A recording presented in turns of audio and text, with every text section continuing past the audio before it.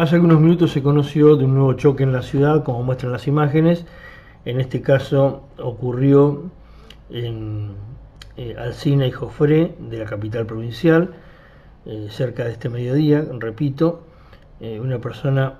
provocó este choque múltiple, dijo que se vio perjudicada por el sol de frente, y que eso le hizo perder todo tipo de referencia, y por eso impactó con eh, un vehículo que estaba estacionado. La mujer era la que manejaba un Peugeot 208, dobló,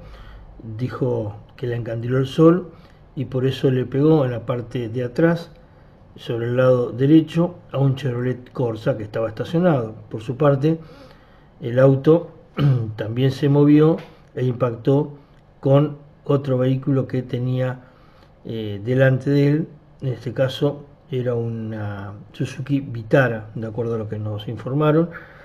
y por supuesto que del siniestro el más perjudicado fue el Corsa, que fue impactado de atrás e impactó con el vehículo que tenía adelante.